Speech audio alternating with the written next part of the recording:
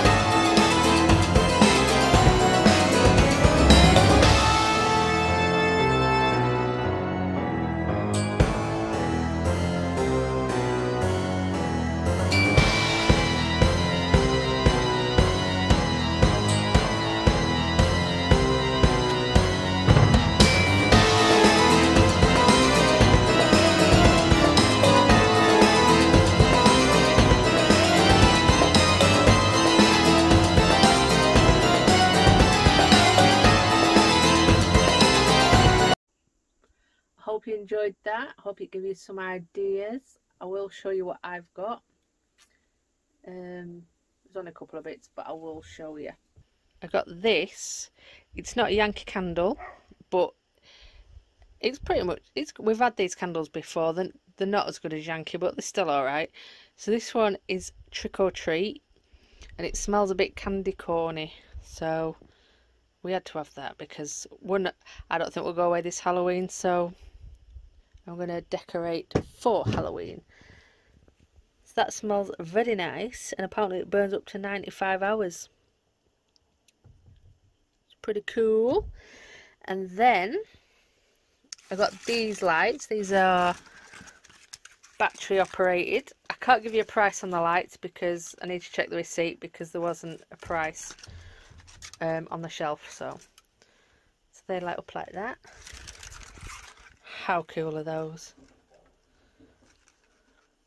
But I did, I did get some of these um, about what five six years ago at Spirit Halloween, and these are exactly the same.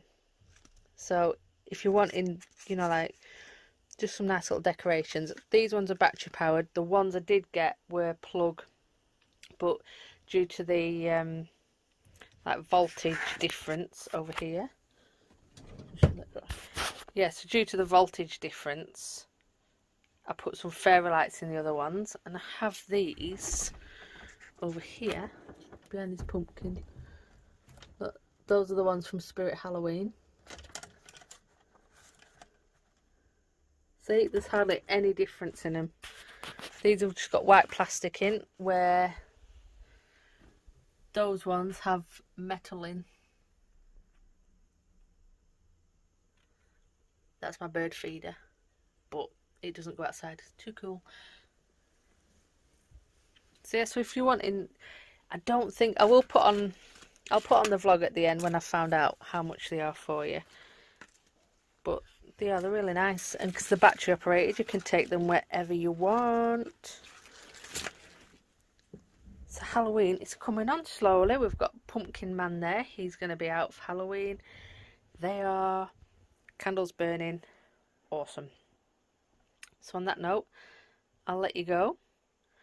And, oh, keep your eye out because I am doing a vlog. I am doing a vlog with the tablecloth that I got from Blackpool. So we'll be doing something that very, very soon. So keep your eye out for that and we are back in Blackpool on Saturday. Um, do have something planned. If it goes ahead, we don't know. So, yeah, take care out there. Thank you for watching. Please subscribe if you haven't already. And we will see you soon.